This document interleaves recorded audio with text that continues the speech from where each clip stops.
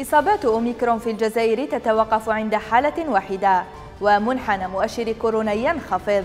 مدوار رئيسا للرابطة الوطنية لكرة القدم مجددا. هذه الأخبار وأخرى ننقلها لكم من منصة أوراس. فمرحبا بكم.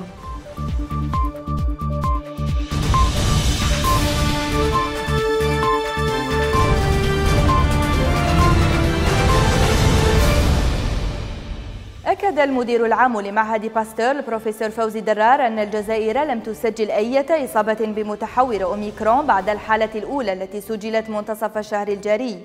وقال درار إن أوميكرون أقل خطورة من دلتا مشيرا إلى أن المعطيات الحالية تؤكد انتقاله بسرعة إلى الخلايا التنفسية إلا أنه يصل بصعوبة إلى الخلايا الرئوية.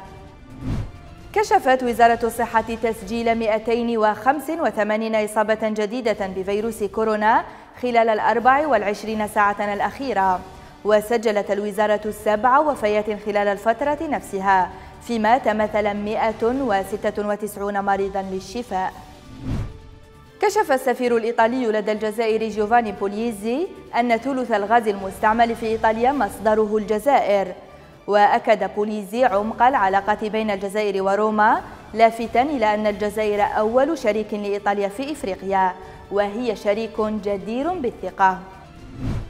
زكى أعضاء الجمعية العامة الانتخابية بالإجماع عبد الكريم مدوار رئيسا للرابطة الوطنية لكرة القدم لعهدة جديدة.